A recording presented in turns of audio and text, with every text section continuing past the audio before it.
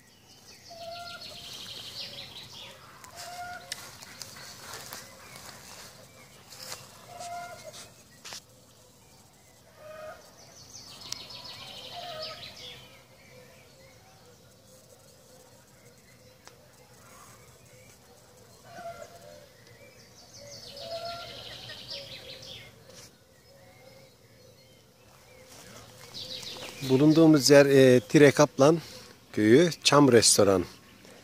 Fatih abinin yeri diyelim.